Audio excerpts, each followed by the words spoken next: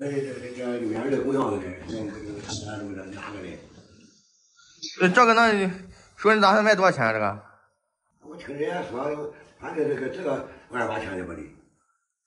呃，这个到不了，可能咱不信这个吧，我就卖它，我就变个钱。但是应该是这解放后了，应该是就创辉期那个时候了，但做的很好。听人这听我听人这老人说，嗯这个这个这个年的这个这个这个这个这个时间不短了要，不不这个呃万八千的嘛。啊，这个很小啊，然后人家五个小孩多好啊。现在有年轻的那个这个会这个工厂子的，你这上边都到都有 Made in China，都有 Made in China，就是八十年代左右的。我哎我也不懂呢，嗯，我呀，你看着你你你这这这这个这这这出了钱呢，那就三百二百的。还可不行。你要诚心买的话说，我就能出四百块钱。四百可不行，要行啊，咱啊就那样占卜，你回来给个给个这个么的这个这个这个五千六千的也行啊。说我刚才跟你说，你可能没听明白。他这个开脸啊，还有民国那时候一封，这个如果是个民国的话哈，做这么好啊，值上万甚至一两万啊。要清代的话，都可能值好几万。厂货了，那时候国家有工厂啊，有瓷器厂啊。那那不这个呃五千六千的，啊，这么情况，这这这这这这老人传的老人这是，人家这工厂子的嘛，老人都没有了，这传给俺年轻的，这这老人给咱摸，就给咱在这个这就会赚钱，真真真真值不了啊，说，值了我不就拿了吗？你说那差的，你给我这个价吧，我觉得差的太多；我给你这个价吧，你觉得差的太多，哈哈，就。就没法没法收啊。现在么很少，没有这号的，没有这个，也是个不小孩儿，这个没这没办法，这变个钱儿也是变个，呃，咱不打工咱不能，咱不能，我知道这个佛很漂亮，开脸什么都特别好，特别喜庆。嗯，这个主题我跟你说啊，说你不要以为我我你不是你不懂，我懂啊。这叫五子闹佛，哎，五个孩子闹佛，闹的啥佛呢？弥勒佛，哎，嘿嘿嘿，这个这个五子代表着什么呢？九财名食睡，有才十岁，什么意思呢？喜欢钱财啊，喜欢名气啊，睡觉啊啊，喜欢这个好吃的呀，就说这五个东西五五种啊情况去闹这个佛，但这个佛呢都不为所动。哎，还有一个呢叫五福，五福是什么意思呢？是吧？呃，一曰寿啊，二曰富啊，呃，三曰康宁哈、四曰修好德，五曰考中命。所以说这叫五福。你看我一说，你就觉得是不是我专业了？你没听过这个吧？我不懂呀，哎呀，嗯所以说这个五子闹佛自古到现在都是一个非常好的主题，还代表什么呢？多子多福啊！你看，又有女孩又有男孩，是不是但是就只有一点儿，它年份不够。哎，那个时候叫厂货，国有瓷厂，也是景德镇烧的，胎质各个方面啊都特别好。哎，这个开脸也好啊，特别好。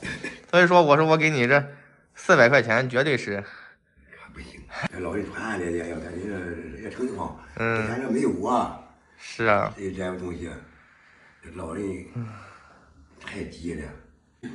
我我我干住，呃，咋着我了？嗯，干活啊，哎呦，哎，这不是为了变个钱，你变个，我现在我我我出不起，咱没没收入，呃，那个五千百嘛，行吗？叔我这个什么，我这个我真，这个差别太大了。嗯。你这个这这这出到五百，啊，你有出到五百吗？我我出四百啊。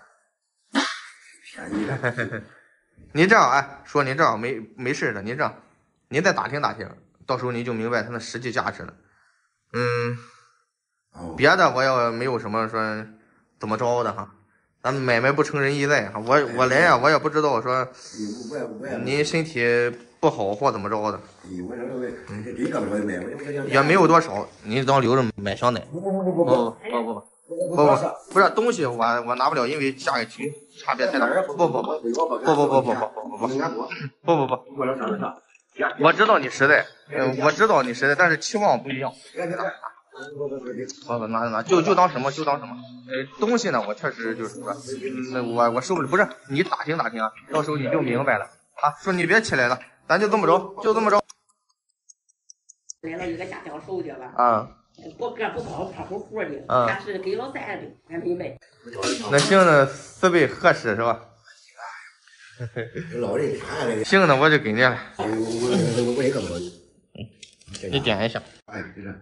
叫你，哎呀，叫你，其实我真搞不懂。老人，哎，说我知道，但凡没有特殊，咱说特殊的情况，不可能去卖。这样我我我我吧，我再我再多给你一百，我再多给你们一百，没没有多了。不不不不，不是，不是不是不是，我不是我是我想我我啊行行行，先等让着吧，让着吧。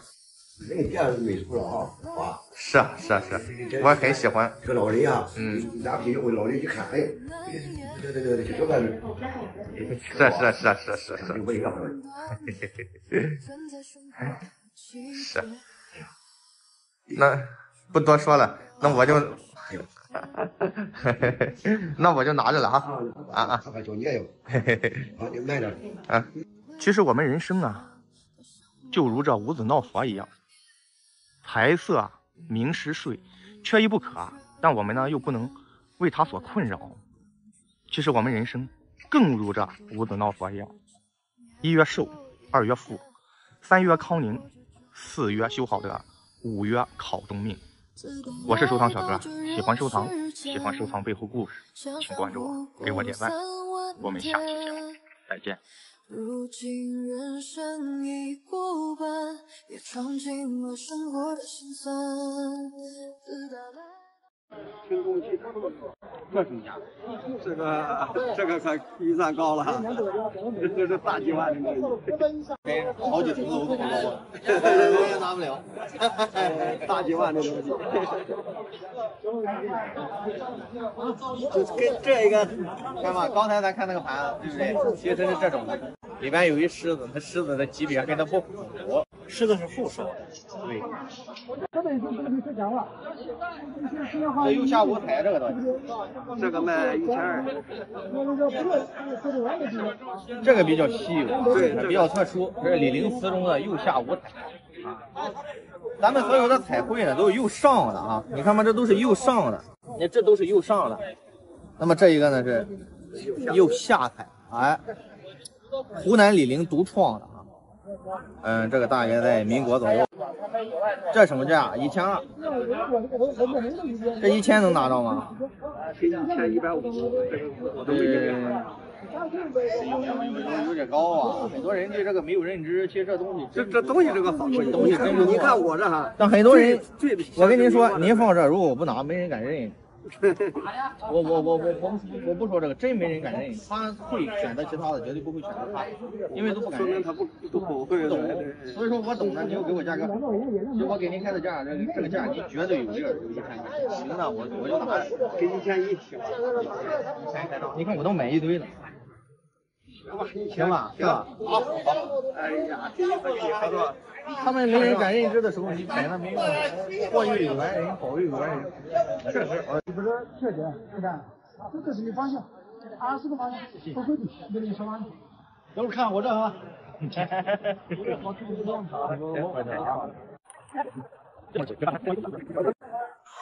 看一下这个块儿。这个。对对对。其实这种的就是啊，属于现代的工艺品啊，买着玩的话，价格也不高，但是呢都是贴画的啊，不单纯这一类的，就是很多类的，像这种啊，都是贴画。其实有时候逛天就是这样，真真假假啊，有的时候买的便宜，有的时候买的贵啊，所以说呢，我们在寻找古董的时候呢，一定要有啊一定的知识啊。好，谢谢你啊。我，我，我，我，我，我，我，我，我，我，我，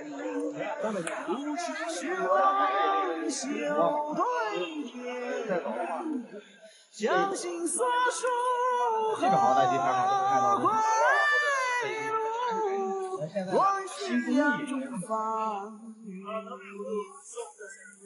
那么第三呢，已然成为了我们群众茶余饭后喜闻乐见的一种传统文化休闲活动。所以地摊也代表了一个城市乃至整个中华文化一种延续。因为我们最早的贸易形式就是以集市和地摊开始。我是收藏小哥，喜欢收藏，喜欢收藏最后关注，给我点赞。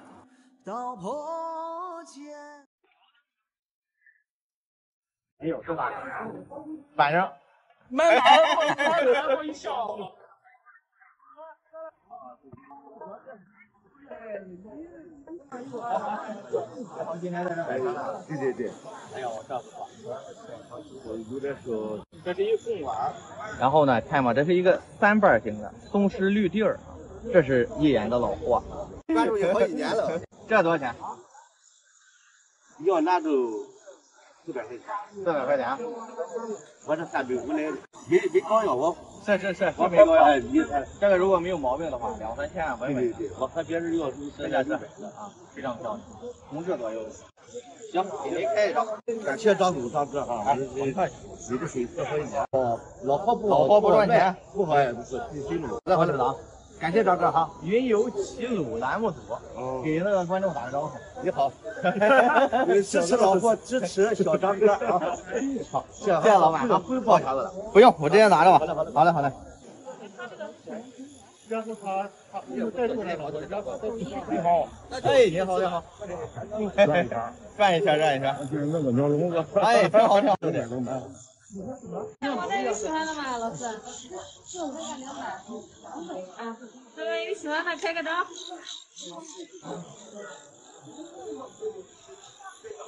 我再看一下。十老九残，有时候想淘个真东西，其实也挺难，多多少少啊都有点磕碰，但是呢传世老，包括这上面的包浆啊，啊胎足的自然磨粉啊，其实这个是一个贡丸，级别还是不算很低，值这个钱。呃，行里有句话叫什么呢？买到真品就是漏啊。Hello，Hello，粉丝开张。这个这个卖多少钱啊？啊，这卖多少钱？这个，啊，这个要价是五百，你看着给那不行，要的太低了，不不不能买。啊，呃，嘉德刚拍了一个一千多万。在一千那下。这个是命。喜欢开张。好，别忙了，别忙了。是个明朝的那个。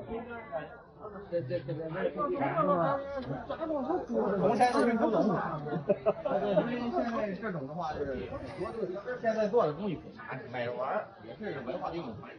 他为什么不雕别的呢？是不是？他为什么非得雕玉猪龙呢？啊，他怎么他怎么不雕个这个喷火的龙呢？是不是我们文化的一种传承？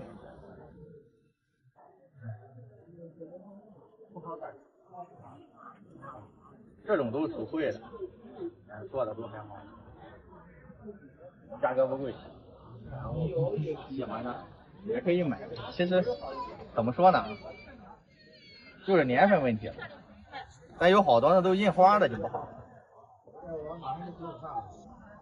仙客吧，这种级别也不低啊。当年马未都买了一只，后悔了，又去买另一只，天价，人也就不卖，这干嘛呢？御物，在古代高等级的人，比如说王爷级别的去世了以后，一手要握一个，啊，为什么呢？因为他雕的是猪嘛，猪在古代代表财富啊，哎，这种现在做的非常好，要的，嗯，这种就一眼开门了，所以说有的时候咱们在逛地摊的时候。真真假假，看的都差不多，其实相差不多了。外行看热闹，内行看门道。还有刻字儿，刻字儿是什么呢？其实这种盘子在古代是很珍贵，为了防止丢失啊。你比如说红白喜事要去借盘子啊，比如说爱，这有可能是个人名啊，或者是个姓氏啊，到时候还能找回来。这种一般都在家道左右，盘之纹的。全品，哎，这老板说了，还是全品。这有一个大疤了啊，是不是坏了？其实这是窑里烧制过程，在我们行里看的话，这不能算作，就是说后期的毛病，因为这先天形成的。与工艺有关系。哎，所以说这为全品。比如如果说啊，有一个外行过来以后，你看你这磕了一个坑啊，那老板就迅速知道你不是内行了，呃，这老板就可以蒙你了，对不对？高，这是高，这一对多少钱？这是一千块钱，你开的也不低啊，这个稍微铺展再画细点行吗？全品做的。是全品啊，现在这东西在当时也不好，不好收了，确实是不好收。八百吧，给你开个张，行不行？行啊，一会儿结束了，都走了，行吧？给给给九百五，这个也老面也也没多少。你这不上道啊？你一人一半也是九百啊，你这九百五合着都没几，八百五。哎呀，这整面也老面也真不没利润现在。九百块钱也差不多吧。行吧，拿了，就开张。缠枝纹的盘子，缠枝莲由西番莲演变而来的，寓意什么呢？福寿啊，福禄啊，喜事啊，延绵不断之意。这还挺好，这个没没没疑问，没疑问。这在行里叫傻子货。什么叫傻子货呢？就是说，哎，一看就明白，就是说傻开门。一样的，一你这个小啊？啊，小漂亮吧，一看。嗯，漂亮，多少钱？一万钱吧。你，你这个，你这跟着打个漏那就不行了。你这你这小太多了。给多少钱吧？三百五。啊？三百五。四百吧，是吧？三百五。太小了，太小了。这个漂亮，这个漂亮。不是差不多了，人人家大呀，人还一对呢。古董行里一加一等于一加一等于三，你忘了吗？你一个二百，俩可以卖五百，对不对？我先给你也。也老老件吧，反正也也也没没多少利润。是啊，卖老货没利润。对，真是。新货多，老货少。那么卖新的就多，卖老的就少。对对。它这是一个市场规律。新的吧，它利润大；你这老的，就没多少。哎，是这个意思。要这个多少钱？我先我先我先给这个哥们转一个。我给你丢。那不挣钱的，老的这个我知道，老的看不多少钱，但是我们那做做老货的，呢，就就就得这样啊。做新货的，人家卖的便宜，可能也你你只要说你做新货，不是说都蒙人是吧？人家要的也便宜嘛。再见啊！老板，老板，我你老啊，不老，呃，祝百年也得保身啊。这个，让我再看，都请请请再看。哦，刚刚那个狮子盘为什么没拿呢？那东西是老，没有问题啊，老开。但这种盘子上，这种盘子很低级，就是说很上边不可能出现这么高级的狮子。那是后加盘。哎呦，这个做的真好。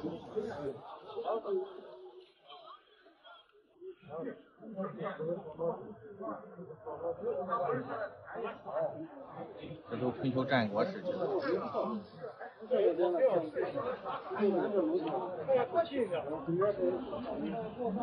霍金银的，对。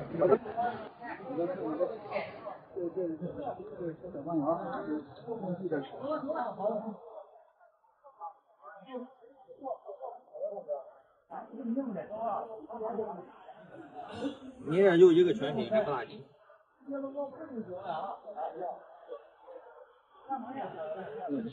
我靠！这行，吃东西了。嗯，这行。后边是成化年制寄托款，豆青釉加上山水，啊，这山水是写意与写实并存，比较抽象，这是那个一个时代的风格。这个多少钱？一千六，一千六高了。给多少钱？这是你很荣幸。我能出一千二，我能出一千二，是不是？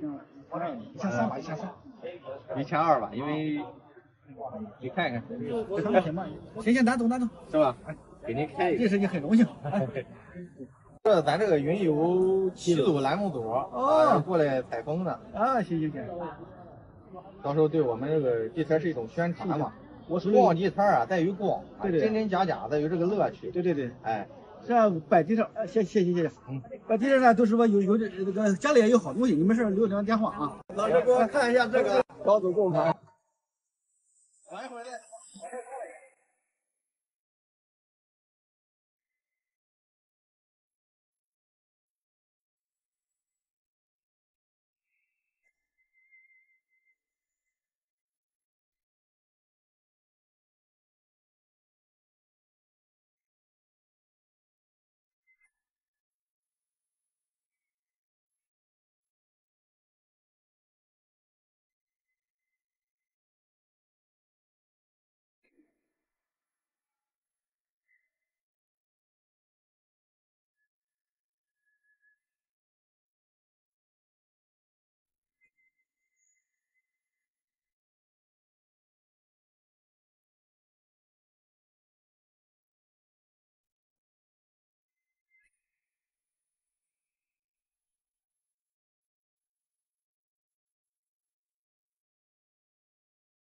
行过小周天，念咒加指诀，贫道我本是龙虎山得了道的小神仙。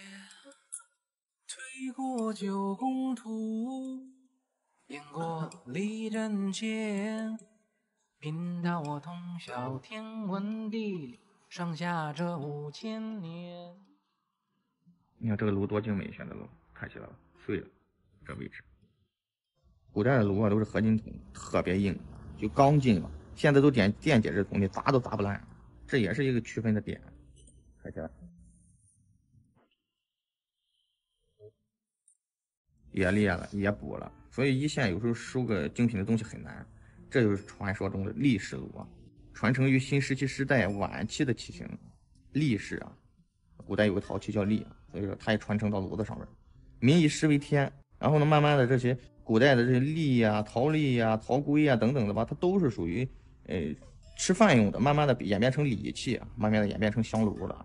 可惜了，逛了一大圈儿。其实有时候下去，咱下来收东西的时候，啊，看着琳琅满目，说真正咱能觉着哎够精致的东西，还是这么大的一个竹雕的一个刘海戏金蝉。这是民间的话，这是非常好的一个寓意的主题，金蝉嘛，寓意金钱呀。财富取之不尽，用之不完的。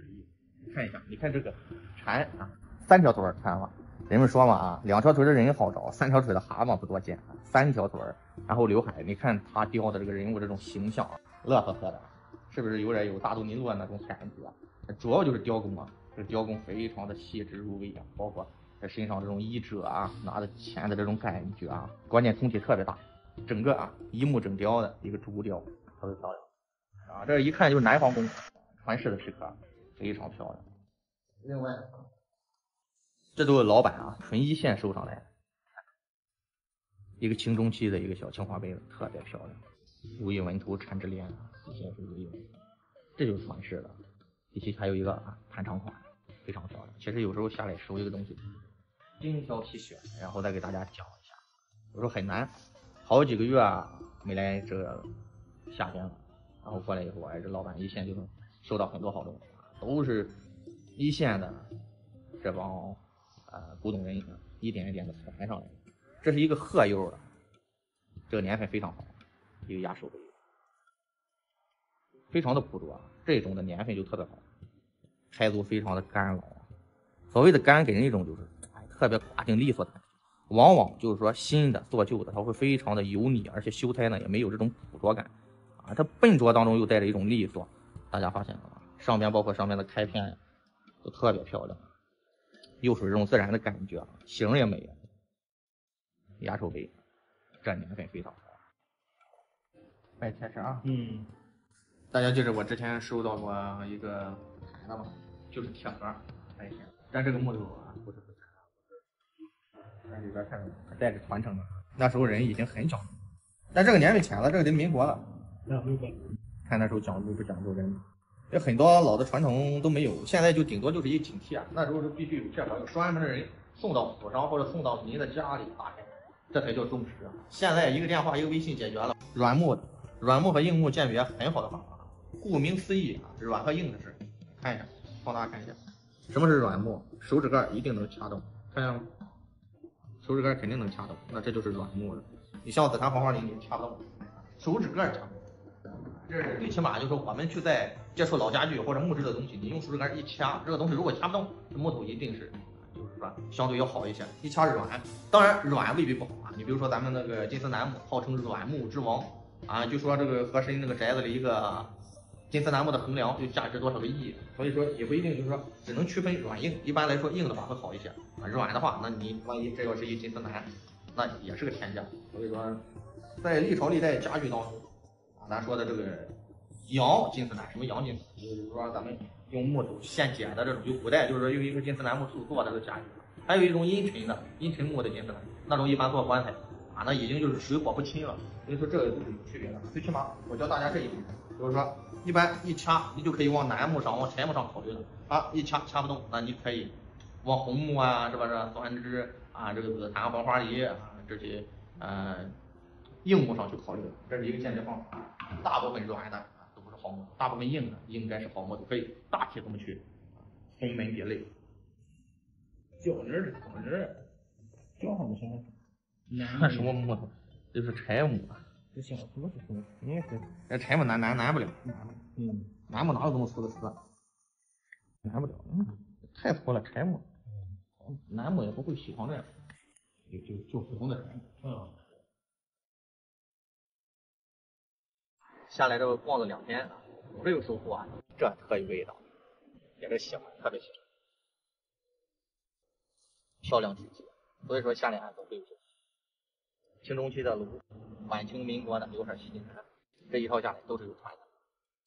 有的时候一收到手了以后啊，喜欢的不得了啊，这边上这老板看着都想再要回去，一拍就更漂亮。有时候在那的时候啊，不见得说认为它有多好。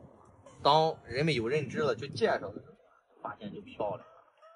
雅嘛，传统文化的魅力，别的有些时候咱说的大美无言啊，完全，其实我说的这些都是废话啊。真正的美是在这里，别拍我拍他，我只是说整个历史长河中的那么一小粟，一小小小粟，九牛一毛都算不上，而是文化才是永恒的东西啊。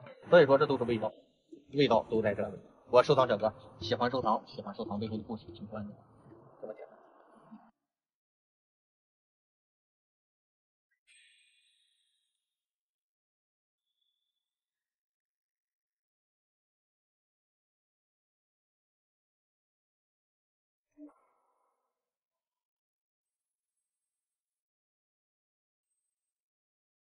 这得搁着，这这里得搁着，咱这里搁着，拿着，这是可以拿着，还带着茶盘。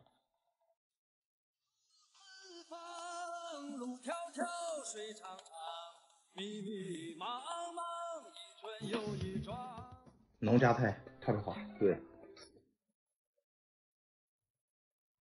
米老板等了三个小时，让老板单独炖的。老母鸡东西了啊，我们平常在外边吃不着这种。哎，到这个点儿，从济南市区赶过来，就已经挺饿了，早晨没吃多少。好吃，下次再来。咱们逛一下，先上这家店，这我得得着。这我上这放上盆花呀，弄了个景，还弄个灵璧石，嗯。味道就出来了，这里个，这玩意儿现在也挺稀罕货了，玛瑙，嗯，上面带个花，你这一类的带脑的，你看像猴头似的，有时候越有这样的还越贵啊，这就路分问题。这要是个鼻烟壶啊，你们有个三千五千拿不走，但是呢挺好玩的，没事还当个手把件儿。老玛瑙都清代的，插个烟，这地方镶个银条，这很漂亮，啥来这是老货，现在也是不错的，拿着。这边还有一家店，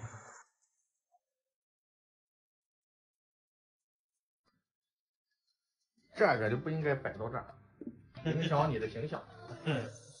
真的，我说的真事儿，你这都很好，你往里边摆。嗯。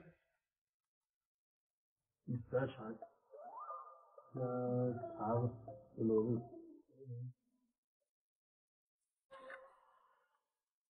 楼。往回还带着茶盘，万寿无疆，漂亮，年份月前，现在呢，那是能列为古董类。五五六五六七。给我这里得低于市场价。这在家喝茶，绝对你比现在买套实惠的多。你这价，你你想买套新的，你买不着。哎，来，老板，好。这家店再逛一下。后苗的，有时候它不是后苗，这大部分都有点毛病。你像这个，很多客户接受不了，就你看，这不是残啊，腰里带的咋整？是吧？这种也对不了，但是呢，也就这一点毛病，画的还挺规整。啊，别的都没毛病。看这鸡爪纹，咱们开门还能照着里面。那鸡爪纹其实是在古代就是就就就前些年就是鉴定真老的这种依据哈。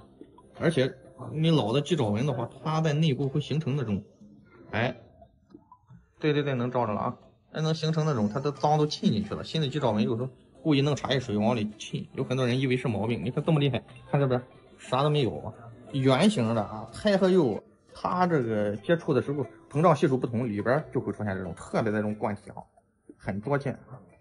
你像这种这没毛病也得拿着，在我们行里看都不是毛病。你想就是说苛求这么完美，咱们超市的盘子呀、碗呀，那一点瑕疵都没有。那那个你再放上一百年也不值钱。流水线生产，不是独一无二。你像这种，全世界没有一个同样的，很少见。每一个人技法都不一样。看这个挺好吧，是吧？卷高，我也放弃。你看吗？窑里烧制过程中形成的，咱这不算毛病了。呃，这没办法，一个大冲，又冲到底了。橘子全是橘子，为什么打橘子？在古代就很珍贵啊，不是说我坏了我就得扔了。那现在很多人接受不了，为什么？因为我们物质生活水平啊，呃，个人手里钱也多了，我宁愿买个全品。所以说有时候哎就不接受。对于我们来说的，放那里插画也不影响，为啥？便宜。你看像这一个一品富贵牡丹纹的十二瓶多好，盘口的，哎，这就烧的过程中也形成一个这个。关键你看这个底下这磨损这样，都不知道传承多少年了。就那时候人们也会接受它，包容它。但是看吧，这地方碰了一下哈，与它没有关系，又有一个铜钱。那这个，嗯，没法拿。你拿了以后，你客户不认可，觉得你这东西不行啊，都坏了。所以说你这买古董啊，千里挑一，万里挑一，很很难。有时候下来看，我还是那句话，你看我东西挺多，都是这一二十年的积累，慢慢慢慢的才有。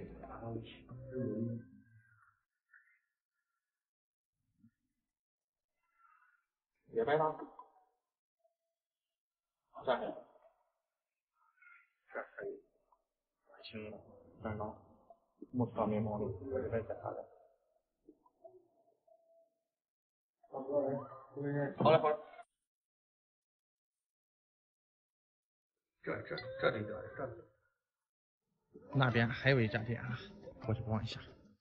这个大有叫，红线年制，民国的啊，典型的民国胎。民国时候啊，修胎的时候，这个地方会出现这种，包括这个我讲过很多回，里边的旋纹哈，这东西还仿不了一般。民国特有的红线年制，这个贵就是珍贵之处在哪里？外国的啊贵族定制的。民国柳树黄银，柳叶黄银，非常非常很多都当官窑了，其实不是，而是只是一个纪念口。红一般来说，官窑都会写巨人陶啊，红线年制的极少，一般的红线年制都可以列为民窑。终于找到一个，这里可以知道，那有多少个喜。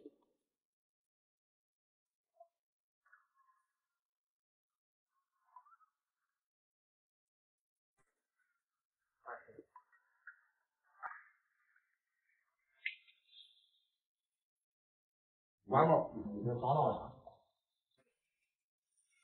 一般不愿收这个为么呢？就是运费太高了。咱车能拉了呗？差不多，差不多啊。咱去北域，那就不然两位。这里看，这个一放家里压呀，到现在为止传承上百年，纹丝不动。哪时候这工艺，立马味道就出来了。对，收获不小，满满当当。哎，把它录完。藏品有贵贱，文化无高低啊，收藏无大小，量力而为之。我对每一件艺术品啊都有独到的喜欢的地方。今天不错，收获满满。我是收藏小哥，喜欢收藏，喜欢收藏背后的故事，请关注我，给我点赞。全是啊，我们下期节目再见。这都有多块。这东在我家待了四十年了，啊，在市里从经一路收来的，经一路的大艺术家的。我开头当着我那儿子开才干拆迁，呃，推经一路的时候，那时候开拖拉机的，我光玩玩汽车玩了二十六年，玩农用车。哎呦，有有来问过的，咱你能出多少钱的？多少钱你能要着？别别打了。四骏图。嗯。多少钱你能要着？你别这六个字儿能值十万，这四匹马，一匹马值十万。你咋的？你你这个多你多少钱能？我是我手里有数。我说的得倒带的话，那你这个是现代的。现代的，在我手带四十年的。我能出五块钱。嗯，有出有出价的这个。这这。这都是印花的，都是印的。那就说叫仿品。仿品，这标准仿品。行行行，那我我还在留着。大哥，你也别说，就是收这这没什么，收藏着。你看这个这个经历路也，农这市里有这样的是，有都有每个地方。你别难过，啊，你明白这回事。其实有些时候就是这样，收藏啊，有些时候是我们无法去理解呀，无法去想象的哈。就觉着很值钱的未必值钱，觉着不值钱的未必不值钱，那需要啊我们专业的知识。专业的眼光啊，专业的素质去支撑。我收藏小哥喜欢收藏，喜欢收藏背后的故事，请关注我，给我点赞，给大哥点赞，心态挺好。我怕什么？我怕一说你再支撑不住。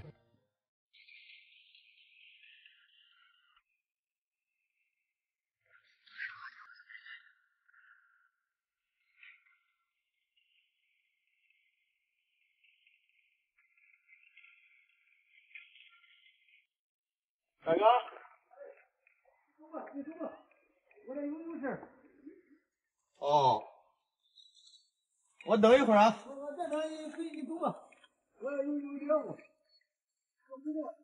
好嘞好嘞，那俺走了。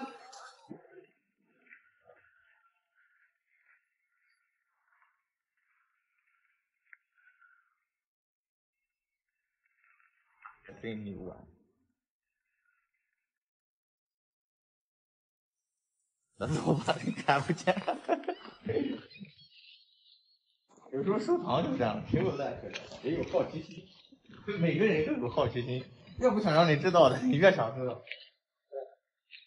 刚刚才那人，那大妈我看气带走了，我以为里边没人呢，里边竟然还有人。回去看一下吧，不打算的好事儿君子成人之美。